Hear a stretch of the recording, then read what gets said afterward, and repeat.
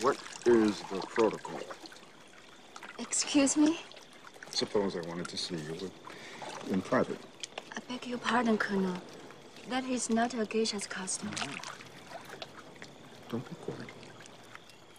I mean, if it's a question of price. If they were a price, you could never afford it. I saw the two of you whispering. You have arranged some kind of twist, haven't you? What did you promise him? Your company, nothing more. He seemed to expect a great deal. If I had wanted to come in the whore, I could have hired one. What are you trying to say? Just the idea of you with him, with any man, you would be dead to me.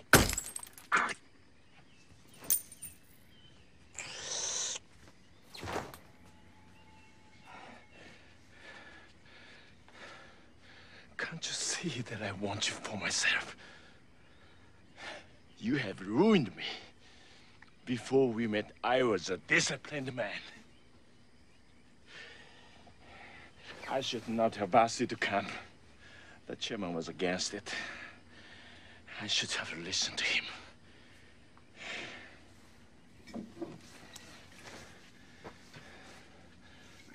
Ah! I must beg your forgiveness, Nobu-san. I was foolish to think you would barter me away.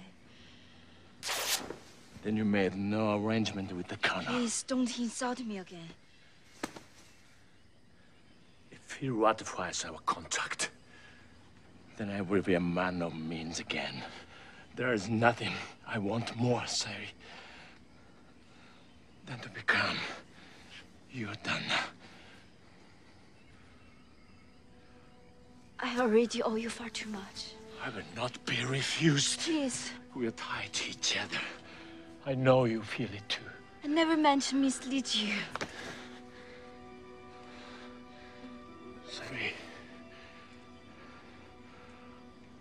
I do not like things held up before me that I cannot have.